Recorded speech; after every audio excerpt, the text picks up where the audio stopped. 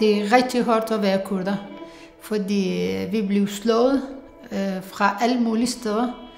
Øh, vi må ikke være kurder, vi må ikke have vores øh, nationalitet, men vi kæmper og kæmper, og vi, vi betaler hårdt, hårdt for det. Vi betaler liv, øh, vi betaler øh, alle de nære familier. Øh, jeg har mistet min fætter, han var kun 18 år, og han blev hænger, på grund han er kurder, og han har kæmpet for friheden. Jeg har vokset op i en øh, kommunistfamilie. Så vi var politikere. Øh, jeg er stadigvæk kommunist, og jeg kæmper på det, og jeg har lært mine børn, og jeg har øh, opdraget mine børn øh, på samme øh, idéer.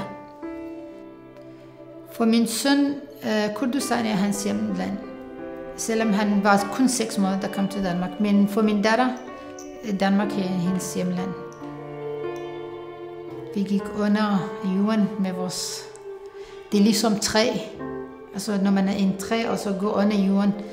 Børnene vokser op her, og de skal giftes her, og de skal deres liv, og så vi bliver endnu mere afhængige af dem.